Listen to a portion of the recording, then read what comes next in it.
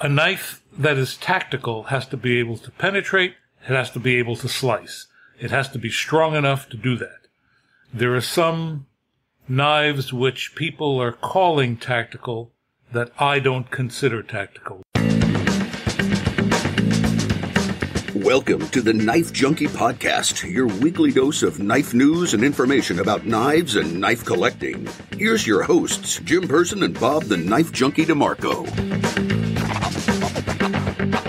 Hello, Knife Junkies. Welcome to another episode of the Knife Junkie Podcast. It's episode number 38, and I'm Jim Person. And I'm Bob DeMarco from theknifejunkie.com. Welcome to the show. And welcome to a talk with the guy that literally wrote the book, Bob. Indeed, Bob Terzuola, the godfather of the tactical folding knife. And yeah, he did write the book, and it's called The Tactical Folding Knife. Yeah, it's not often you get to say that line. I, I, literally talked to the guy that wrote the book, or you know, I literally wrote the book on something. But it's true. It is true. We just uh, we had a great conversation. He's a really um, Bob Terzuola. He's a wonderful guy, very uh, open and happy to talk about uh, his legacy and and um, the birth of the tactical folding knife and and the things he's brought to the table. It was a it was a great conversation. Well, just remind our listeners that uh, today's podcast is brought to you by QuickBooks Self Employed. It's your year round tax solution. It's definitely a must have for contractors, freelancers, anybody who's self employed needs QuickBooks Self Employed. And if you'll go to this link, theknifejunkie.com slash QB30, Knife Junkies will get a free 30 day free trial of QuickBooks Self Employed. So enjoy 30 days for free at theknifejunkie.com slash QB30. Follow the Knife Junkie on Instagram at theknifejunkie.com slash Instagram. I'm speaking with Bob Terzuola, the, uh, well, if I may, the legendary godfather of the tactical folder. Uh, there, there are many monikers uh, he gets for his incredible contributions to the folding knife world. Bob, welcome to the Knife Junkie podcast. Thank you, and uh, thank you for that introduction. I'm a very modest person, so I'm a little bit uh, put aback when I hear all of these wonderful accolades going on. And then again, people have said I've got a lot to be modest about also. all right. Well, I will do my best not to be worshipful. As we were talking before the show started, uh, you had a great deal to do with bringing about the uh, the tactical folder, which is the the main thing I collect. It's it's something I obsess about, and so it's an honor to for me to speak with you. You you literally wrote the book on the tactical folder. It's called the Tactical Folding Knife. I believe the second edition is coming out soon. Uh, could you define for us, uh, from your deep perspective, what is a tactical folder? A tactical folder, actually a tactical knife, but specifically the folder, uh, it's a tool for survival. And it can be survival in any one of a number of different venues. It could be uh, in the jungle, uh, in nature, climbing a mountain, um, could be in the desert, or it can be in an urban setting um, if you're under attack, if you're being mugged, or even a military setting where it, it may save a life, um, either by, you know, cutting away clothing of a wound or actually holding off an adversary. It, it's basically a tool for survival. So in in the design of a tactical folder, what are what are the main considerations? There are a number of uh, considerations. Probably the primary one is the shape of the blade. And I specifically, uh, especially in the new edition of the book, I do have a, a definition um, that I've thought about for a long, long time. The shape of the blade is really quite important because the blade has to be able to do a number of things. Number one has to be able to cut that is slash, slice, cut in any kind of a situation you would imagine. You know, that's what a knife is supposed to do. It's cut. Mm-hmm. Okay. However, a tactical knife also needs to be able to penetrate. It needs to be able to stab or go through pretty tough materials. It may be an animal hide. It may be um, a leather jacket. It mm-hmm. may be uh, body armor.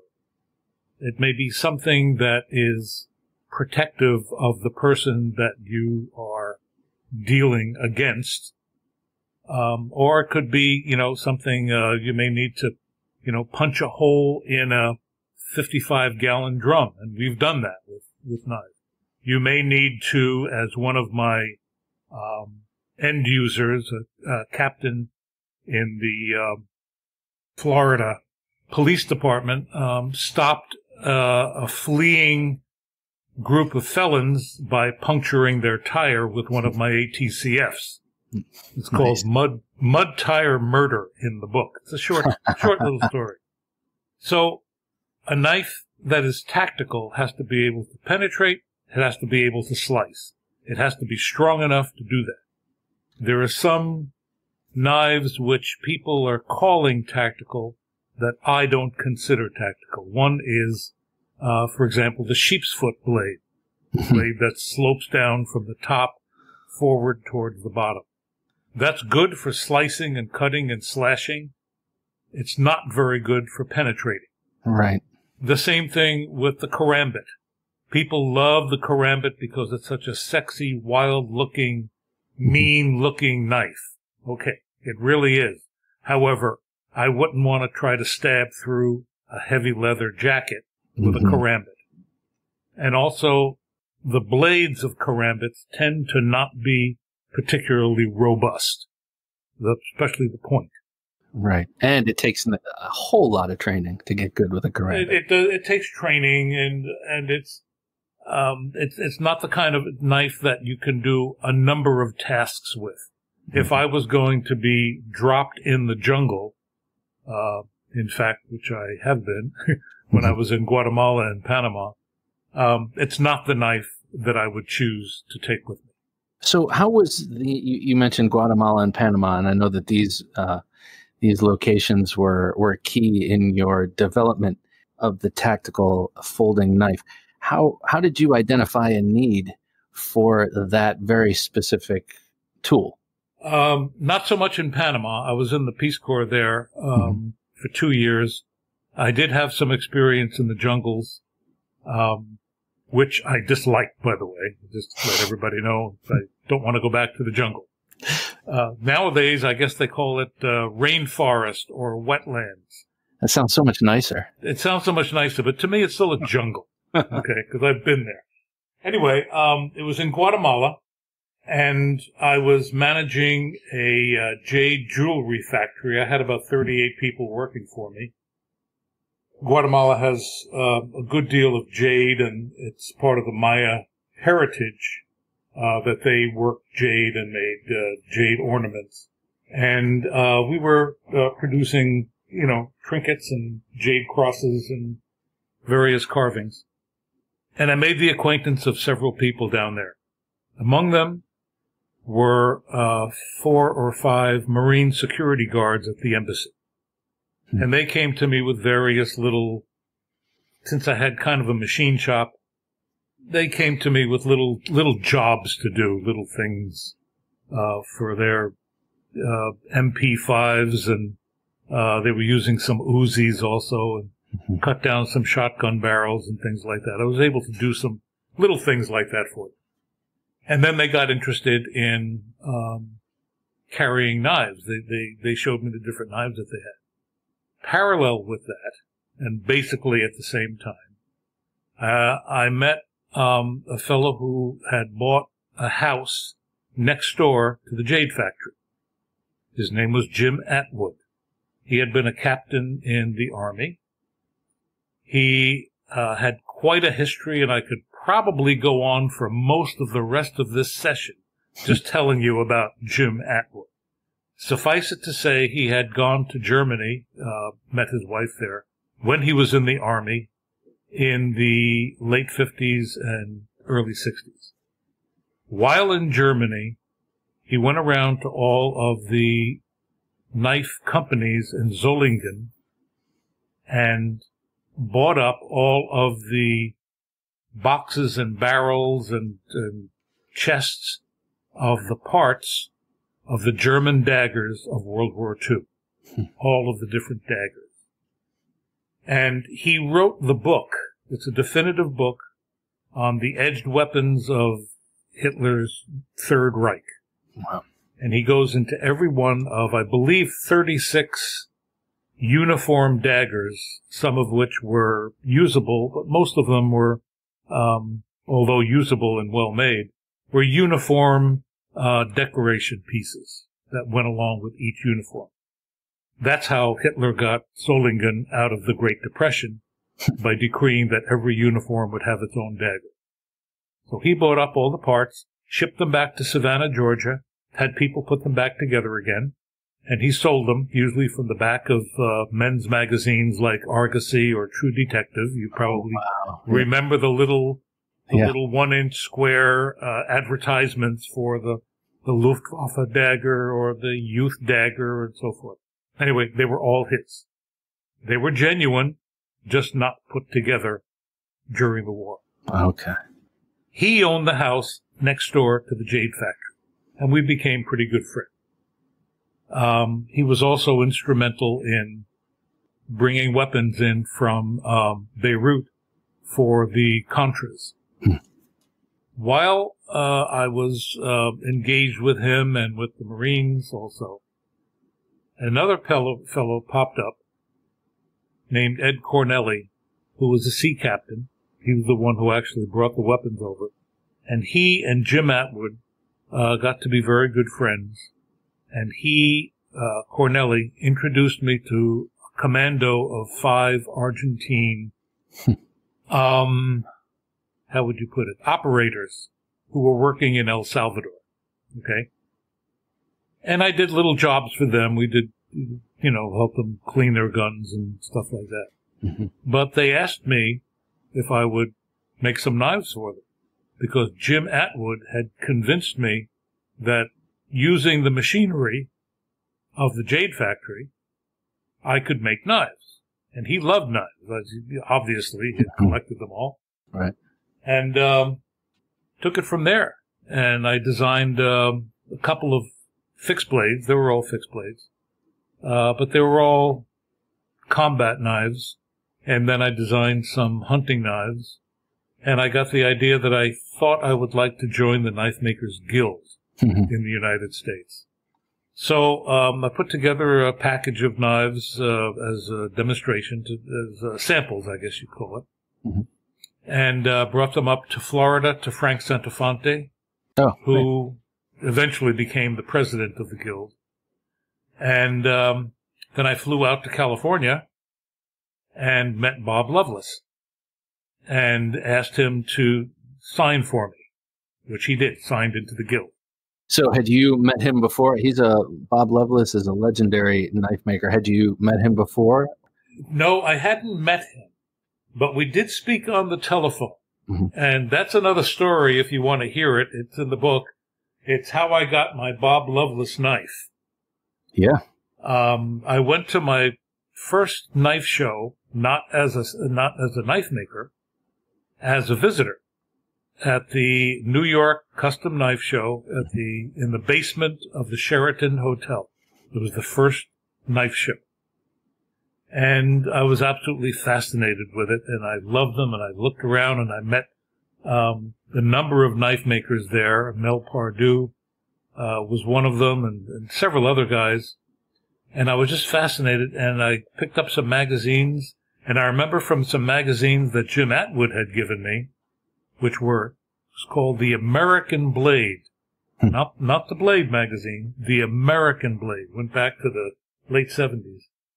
And I remember the name Bob Loveless. And I asked the people around there and they said, well, he's, uh, probably the, the guy who started this whole thing and he's really good and his knives are really beautiful. So I went back to my father's house. I'm, I'm from Brooklyn. My father and mother were living in Brooklyn. I was staying with them and, um, got on the phone and I called up Loveless just out of a clear blue sky. And I got to, uh, talk to him. We chatted for, I don't know, maybe an hour, hour and a half. I can't remember. And I ordered a knife. It was a semi Skinner with stag handles Mhm. and I sent them a $200 deposit. And don't fall off the chair. The total price of the knife was $460. Oh, wow. How Okay. about that? However, however, I had to wait 11 years before I got the knife. Uh, oh my God. Yeah. 11 years. He had completely forgotten about it. He had written it up. There was a, there was a card with a deposit. Um, he had completely forgotten about it. Years later, many years later, that would have been about 1979 or 1980. About 1989, he called me up. We had been communicating. I was in the guild by now. Mm-hmm.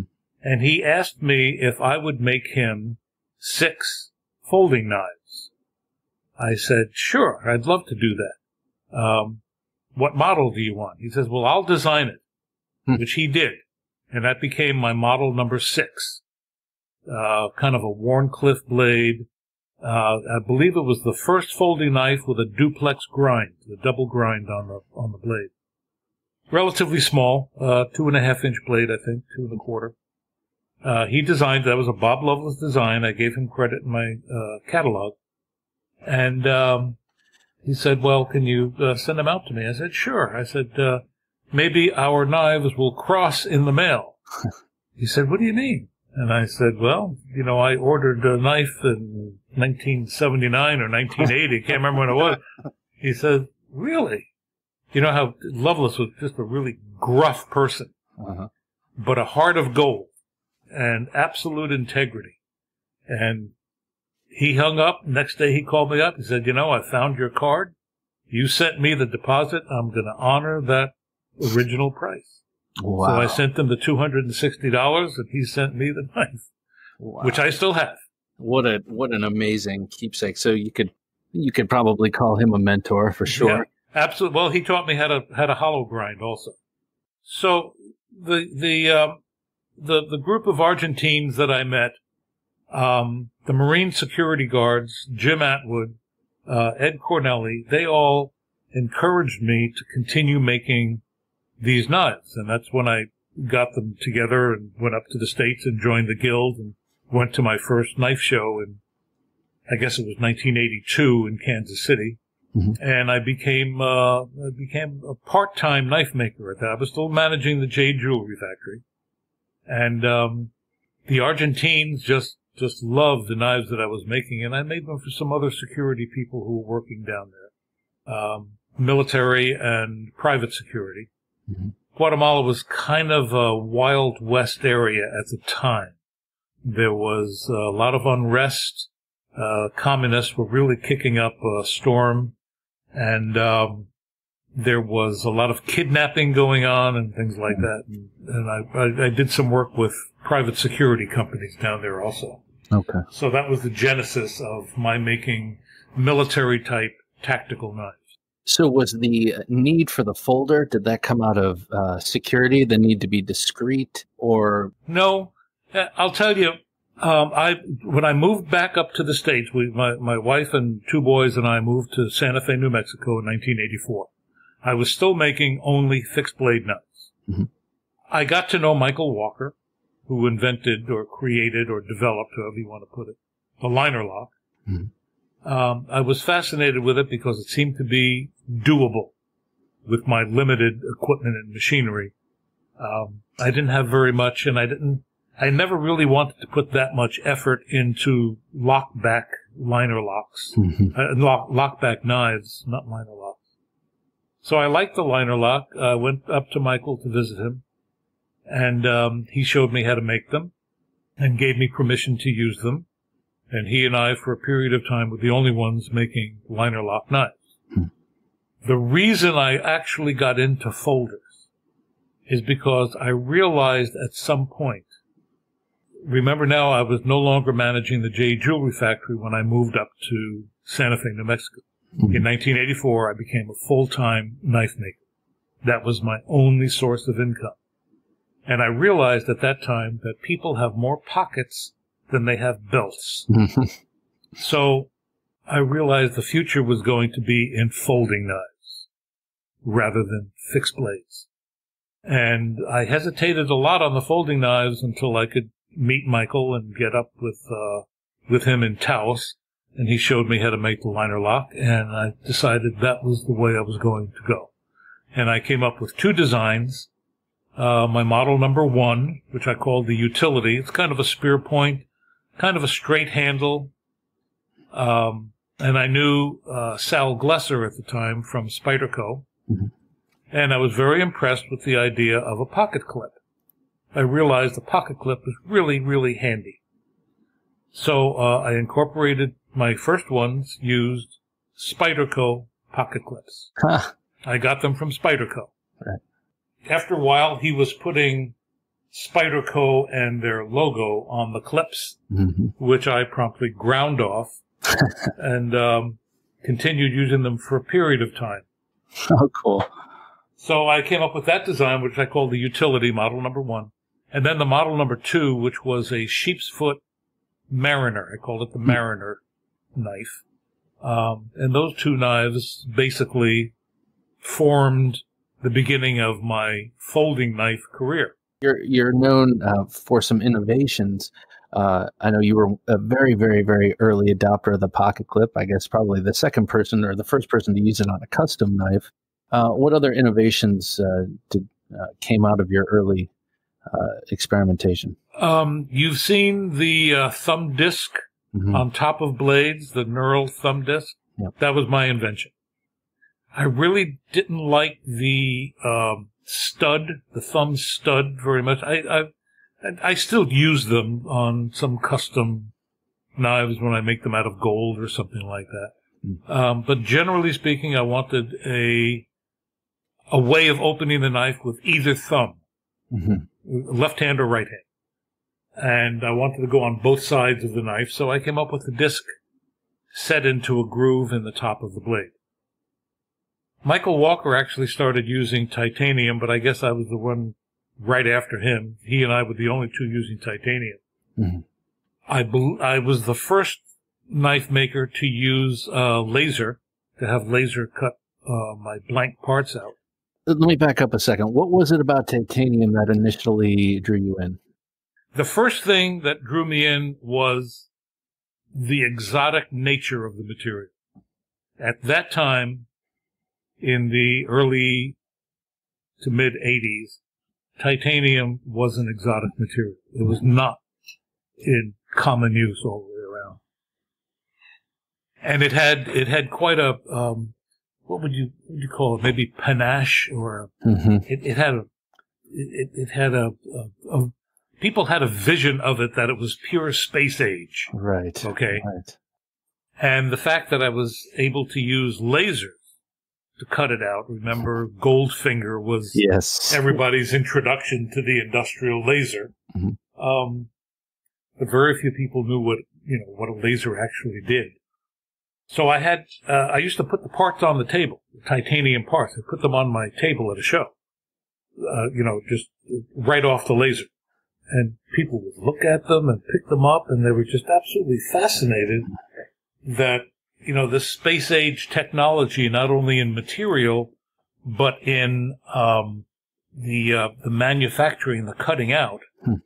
And for me, of course, it was a godsend because I didn't have to use up millions of bandsaw blades and Right. Right. sit behind a bandsaw, which is you know the worst thing in the world. So I guess I was one of the first to use titanium. I was the first to use G10 Huh. on a folder as handle material.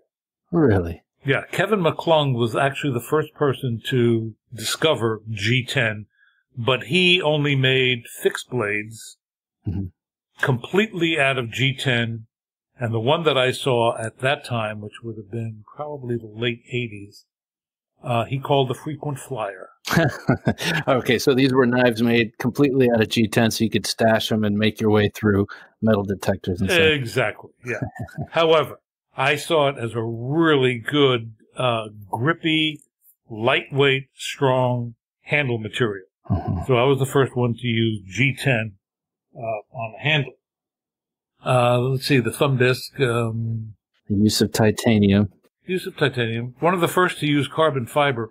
Actually, uh, a, a friend of mine uh, who had an injection molding plant in Romeo, Michigan, Frank, he asked permission to copy my ATCF Mhm. in a molded plastic um, material.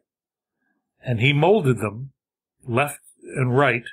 Mhm. With a, it would have had a titanium spring in the middle, but he did the left and right parts and a plastic lip, and that usually they use uh, nylon with thirty percent glass filler, glass filler to, to strengthen the material. Mhm. He actually used carbon fiber. And as far as I know, it was the first time that any kind of carbon fiber was used in a knife handle. And that would have been, oh, maybe 89, maybe 1990, somewhere around there. So one of your most famous models is the ATCF. Uh, what is what does that stand for? Tell me a little bit about that, and and um, remark a little bit about the design. To me, it's um, it's uh, what's the word? Um, Perfect. yeah, I mean, it's something uh, like the handle is. Well, just tell me tell me a little bit about that design. Okay. It originally started out as the model number three. So I had model number one, model number two, the Mariner, and that was model number three. And it was kind of inspired by Al Mar's uh, SERE knife. He came up with a knife called the S-E-R-E uh, for the um, the program of uh, Survival, escape, survival, evasion, uh, Right. resistance, and escape. right? I may have that in the wrong order. I don't know, but something like that. Right. Anyway, I knew Al. Uh, he, he was he was a pretty good friend of mine. I really enjoyed working with him and, and knowing him. The SERE was a good knife. It didn't have too much finger protection to it. Uh, it was pretty heavy, um, and it didn't have um, all of the qualities that I thought a, a, good folder should have. Lightweight, easily accessible hmm uh, were two qualities that it didn't have that I really thought were important. Because no clip on that, right? No. Right. Yes, there was no clip. Correct. Anyway, um, I uh, worked and worked on the um, model number three, and I decided on a sp- uh, the, the basic spear point with a clip on the top. Uh, it wouldn't be sharpened on the top because it's hard to do that unless you bury the blade completely in the handle, and I didn't want to do that. It would have been too bulky a handle. Uh, but it did have a clip, clip grind on the top. And the other thing I think I came up with, and I'm, I, I don't remember seeing it anywhere else, and I'm not sure that anybody else had ever done it before, is I had the, the serrated thumb ramp Mm, at the yeah. top of the blade, and it mated when the blade was closed with kind of a protrusion that everybody is using now, kind of a, a finger protection, kind of like a guard, almost like a little hilt or something like that. Right. And when the blade was open, you had the serrated thumb ramp at the top and the kind of half guard uh, finger protection at the bottom, acting as almost like a full hilt, uh, hil- uh, full guard on a folding knife. Right. And I had, I had, I don't know how I came up with that, but I just, I was just playing around with a couple of pieces of clear plastic and making drawings on the plastic. And, um, that's the way I did it. It came out. So I think I was, I think that was an innovation that I did also. The spear point, kind of a fairly wide blade. I like the hollow grind as opposed to a flat grind. Uh, Why? most, Why's that? um, it slices. It's not quite as robust as a flat grind, but it slices better. Mhm. Uh, and for slashing and slicing and cutting, especially out in the field, if you're skinning a deer or something like that, you want something that'll be uh, fairly fairly thin, but robust enough. That's why I put a uh, there's a there's a spine down the center of the blade. Mhm. Um, you want something strong enough to resist breakage, but fine enough to do uh, delicate cutting. Um, the titanium, of course, like I said, lightweight, Mhm. very strong. The other factor about titanium, which is important, is it has so much spring to it. Its um, its recovery rate is really great. I mean, you can bend it all the way in one direction or another direction; it'll come back to where it's supposed to be. So, so is it uh, safe to assume that a uh, a liner lock made out of titanium rather than steel is going to be springier longer? Um, no, I don't think you could say it would be springier longer. I think you could say that for a thinner piece of material, you can get the same amount of spring and strength that you would out of a thicker piece of stainless steel. Gotcha. Which is heavier also. Yeah, which is which is heavier. Now I've made uh, all of my models. I've made with the original ATCF, which by the way was Advanced Technology Combat Folder. The original one had titanium sides, two sides, and a titanium spring down the middle.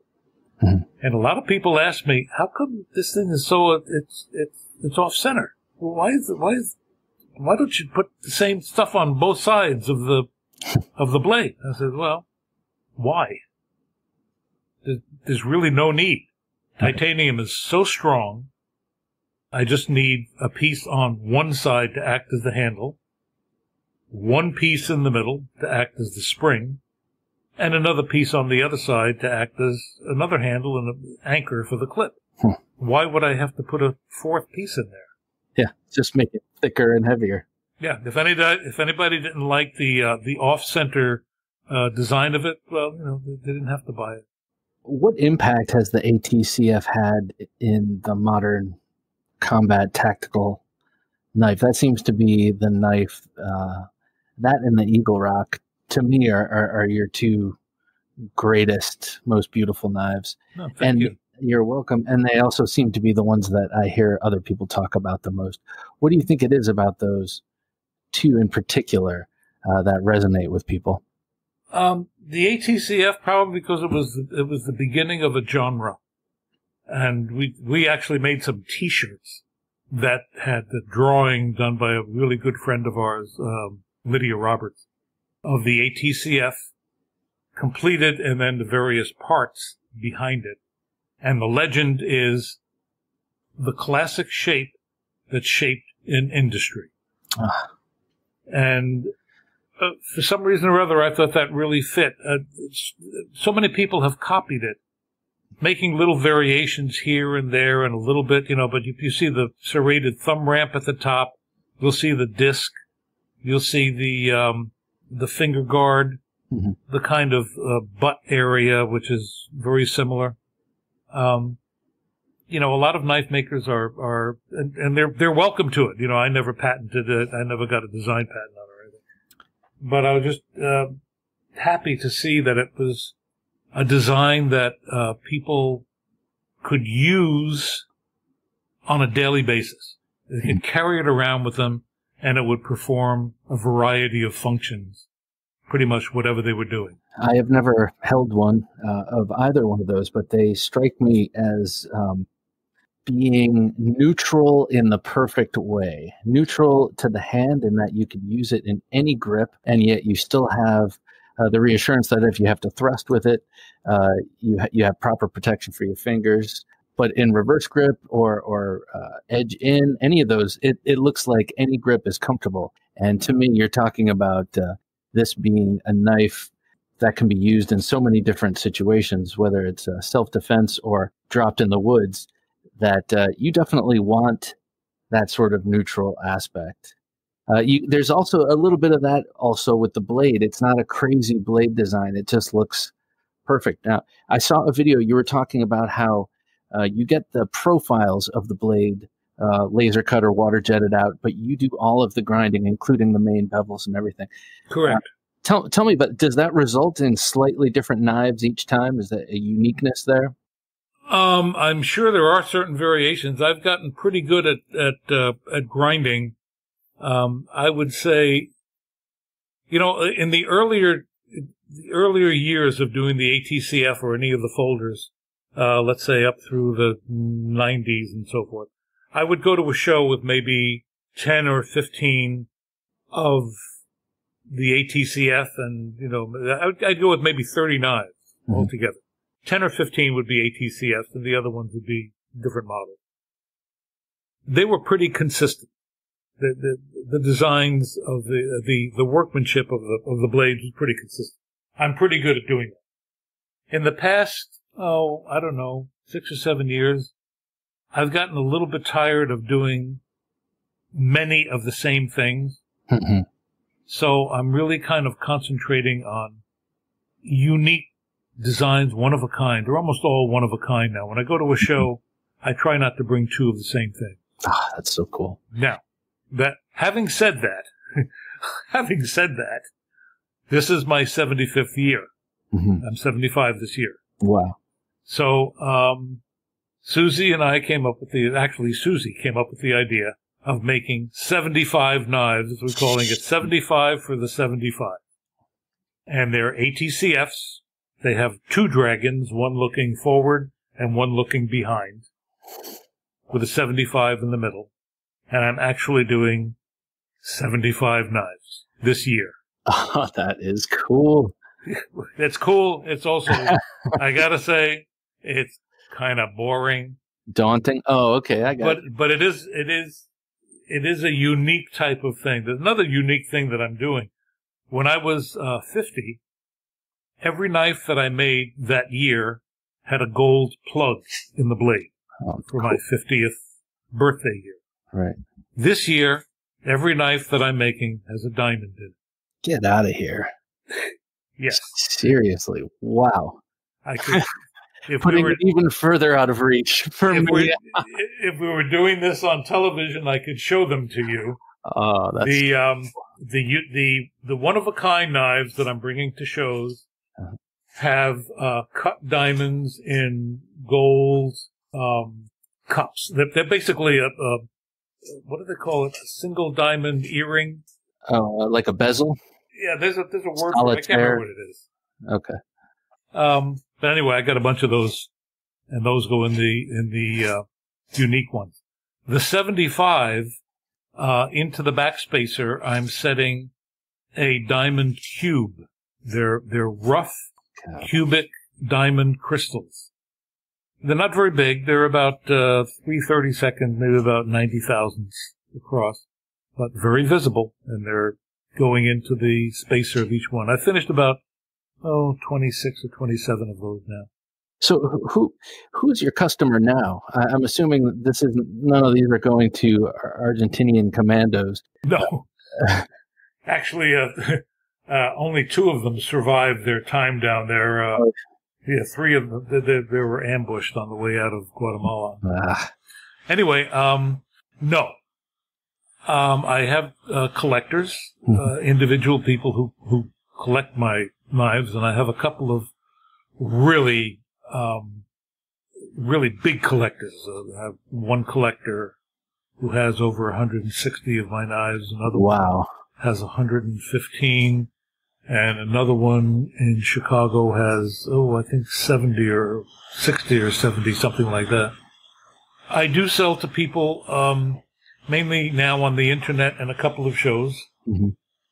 Um, I have an internet, uh, internet. I have an Instagram uh, feed that has about 22,000 followers. Mhm. And um, usually when I put a knife up, it goes within a short period of time. I would have Of met. uh, we, we put up the 75 knives. Actually a, a few fewer than that because I've got friends and family that, that have to get a couple of them. Right. Um, and I think we sold 68 of them in the first day. Wow. So So uh, I, I want to talk a little bit uh, about the collaborations you've done um, over the years, and also the ones. There are a couple of exciting ones happening right now with MKM and with Drop. okay. Tell me a little bit about working collaboratively. You've been a custom knife maker uh, your most of your career, working in your shop. Mm-hmm. What's it like working with the opposite, a massive company? Um, it depends on the company. Mhm. And I've had some super really good experiences and some not so good experiences. Uh, the first one I did was with Spyderco, and that was 1989. That was a really important knife. It was called the C15. And Sal Glesser uh, and I decided that uh, it was time for Spyderco to start doing a collaboration with a custom knife maker there were a number of people that he had approached and they had basically turned them down because they didn't want to make a knife with a hole in the blade. and that's Spyderco's, I guess you're, A trademark. Kind of. it's kind of the trademark, yeah, the, the, the hole in the blade. I'll give you just a, a very brief idea of the, what the C15 was. Uh, it was just, a, it was a relatively small knife, a hole in the blade. It was the first commercial knife to be made of ATS 34, Mm. which was, became a standard later on. Uh, no, but at that time, 1989, every knife that was commercially made was being stamped. Hmm. You can't stamp ATS 34. It's too hard. Yeah. So it was also the first knife that used laser or soft tooling to cut the blades out. Okay, that was the first commercial knife to have ATS 34, first laser. It was the first commercial knife to use G10. it was the first commercial liner lock in the world. Wow. It was the Spyderco knife. We got, we couldn't find anybody to make them. We looked around. We finally found, um, Les de Asis. Do you know the name? Yeah, Benchmade. Yeah. Exactly. That knife started the Benchmade Knife Company. How about that? He didn't have the Benchmade Knife Company at the time. He had he, he didn't have anything except a storefront in I think it was um, Oregon or Washington. I can't remember where. And um, that knife was his first venture um, into liner locks. It was the whole, the first liner lock in the world that was commercially made, and uh, became. He, he went on from there to build the uh, Benchmade Knife Company. So, uh, if you had to um, get a tactical knife from a um, manufacturer, who do you think manufactures good tactical knives? At? Interestingly enough, um, We Knives in China, who are making the drop knives, Mm-hmm. are one of the best. uh, I mean, their their their workmanship is superb. Okay, Boker does excellent, beautiful work in Germany. Hmm. Um, I would have to I would have to think about you know too many others. Well, you mentioned Wu. I really haven't thought about that that an answer to that question. It's kind of an unusual question. I can understand that, and you're also kind of in in rarefied air. You brought up We Knives, and We and Riot and Reich and Bestech and a, and a number of these very high end Chinese uh, manufacturers are putting out knives that are outstanding in terms of their uh, fit and finish and engineering and uh, and design. How do you feel that uh, that these new companies um, that are producing these sort of somewhat inexpensive high end knives, how are they uh, affecting the market? we've seen a shift in the market towards, let's say, away from the higher end, more expensive, custom, one of a kind knives. And part of this is that because of the internet, because of the high quality knives that are coming in of an inexpensive nature, knives aren't being collected as they used to be. There are fewer people buying knives to keep them in a collection, having some sort of a unified um, concept of a collection. That all the knives of one knife maker, um, all karambit knives, or knives of, uh, you know, all sheep's foot blade knives from 20 different makers, however you want to, you know, create a collection. Mhm. People now, a lot of people, especially the younger generation, they're buying knives from custom knife makers to see how fast they can flip them Hmm. and make a profit. My feeling is that after a period of time, that's going to fall apart because you can only flip a knife for profit a certain number of times. Pretty soon you reach a point like musical chairs where nobody wants to buy at that price or the, how shall I put it? The reputation of the maker falls apart Mhm. which has happened, and I've seen that. It's it's become it's become a more difficult um, market, possibly because of the influx of many, many cheap knives. There's also an influx of many, many young knife makers, new knife makers, who are coming in and buying CNC mills and doing them automatically, doing a lot of work automatically, where they can make a lot of knives relatively inexpensively in their garage. Uh, literally, you can you can buy a CNC milling machine from Haas. Oh, a used one, I guess, for twenty thousand dollars, maybe even less, and start turning out multiples of the same knife. Now, the advantage of a CNC mill or CNC machine is that um, you can make a hundred of the same knives. Mm-hmm. The drawback is that you have to make a hundred of the same knives in order to pay for the machine. yeah, right. It's not. It's not really. Uh, it's not something where you can just make one knife and then go on and make another knife. Um, you can use it as a tool, but it's it's not as efficient. Its efficiency is in production.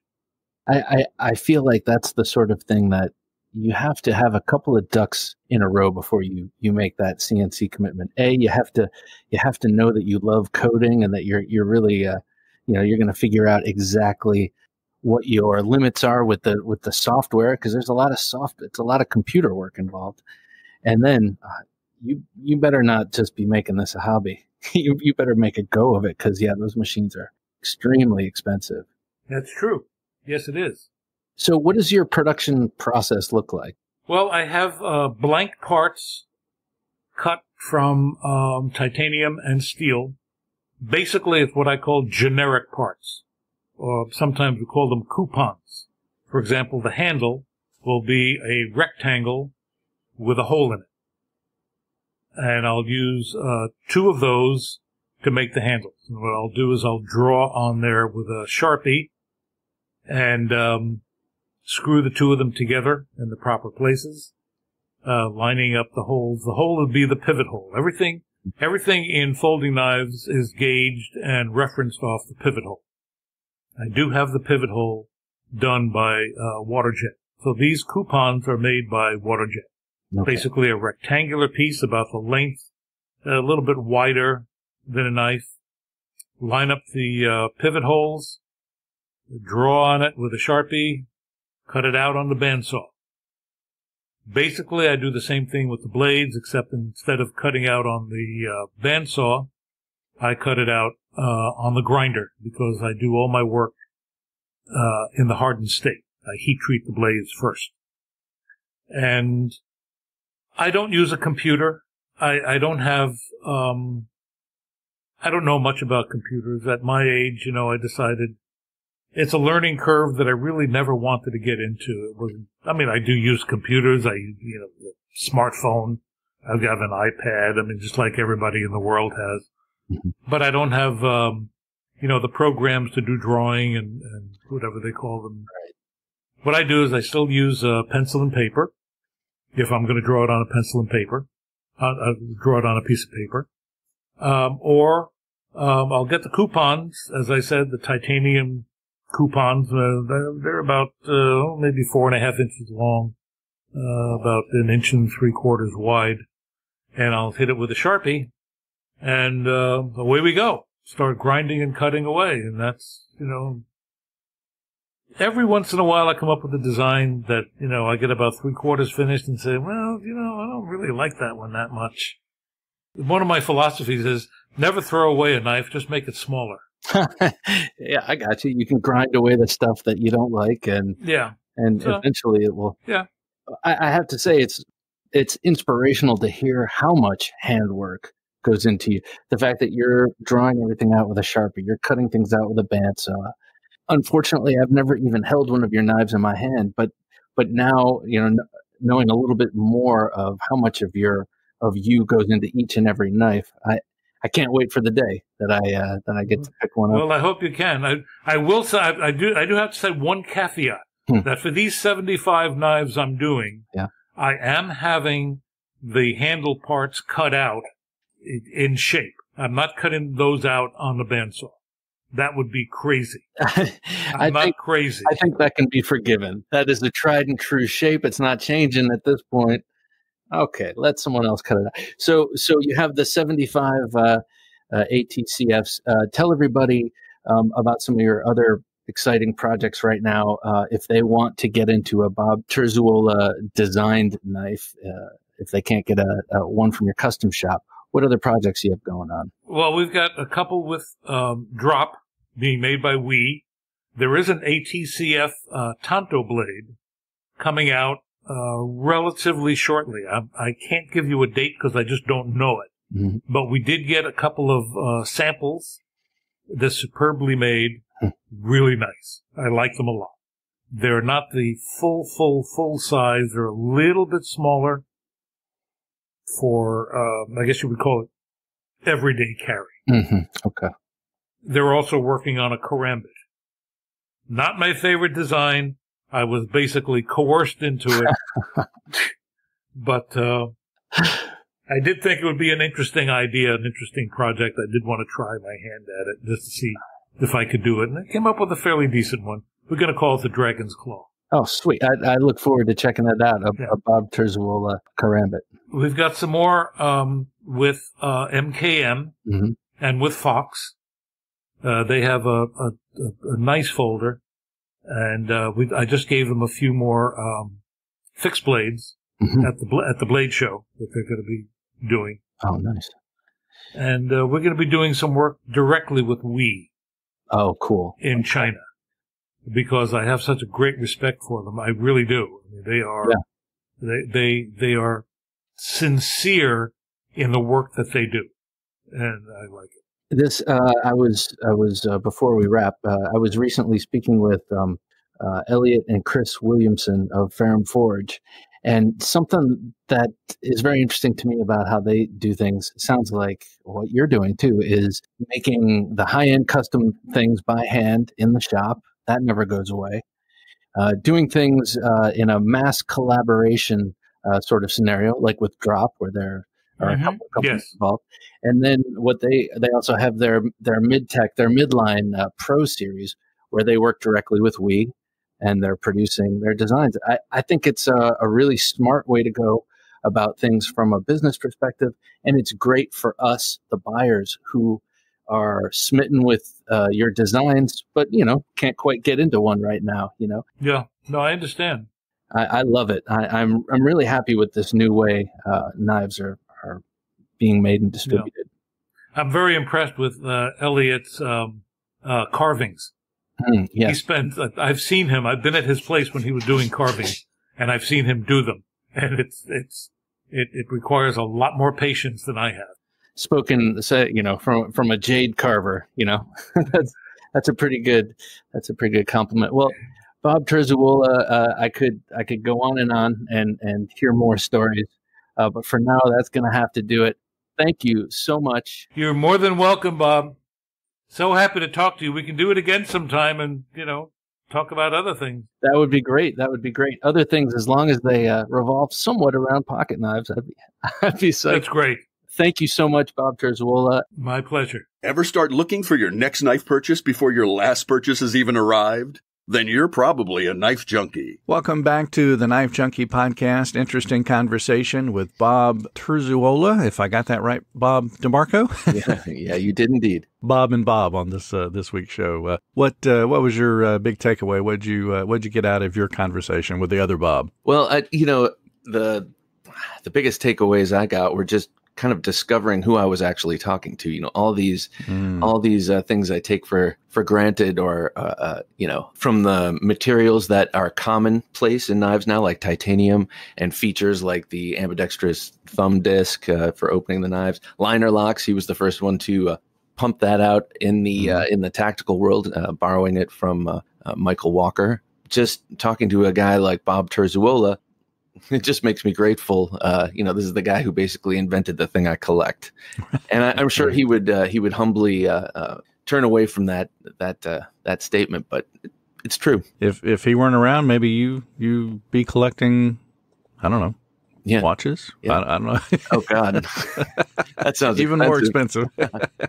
yeah, I, I just have to say, uh, uh, it is also a fantasy of mine to have uh, either one of those 75th anniversary ATCFs, uh, his his most uh, famous knife, I guess you'd say, or a stag handled ATCF. I mean, when the other thing uh, about speaking with him is that he's still making everything by hand. He's still drawing things out.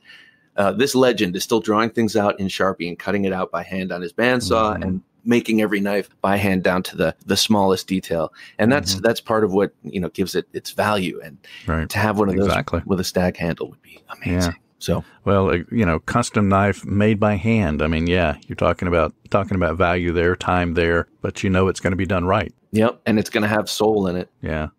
Well, uh, one final thing we we started off the show talking about the guy who wrote the book, and he did the uh, tactical folding knife, a study of the anatomy and construction of the liner locked folder. I wonder if he got paid by the number of words he could use in the title, but but I did a uh, a quick. Um, you know, Google search as we were as we were chatting, or you were chatting with with Bob. Uh, if you'd like to pick up one of those books, they go for uh, anywhere from four hundred to eight hundred dollars. but good news is he's what coming up with an updated version or a new book Yeah. sometime soon. Yeah, well, the uh, the original version is out of print, as many books do. But he's uh, this will be the updated version, and I'm not exactly sure when it's coming out, but when it does, I'd love to have him back on the show just to uh, promote it and talk about some of the updates and uh, and really, it's kind of interesting to just to see definitions put on things. You know, you, you see the products in the industry just keep advancing and becoming more and more um, interesting and futuristic, and it's always good to tie it back to the origins. Well, and we'll end with this. Remind you that uh, the Knife Junkie podcast can also be listened to on YouTube. Go to the knifejunkie.com slash YouTube. And if you want to um, see a lot of uh, great knife pictures, check out the knifejunkie.com slash Instagram.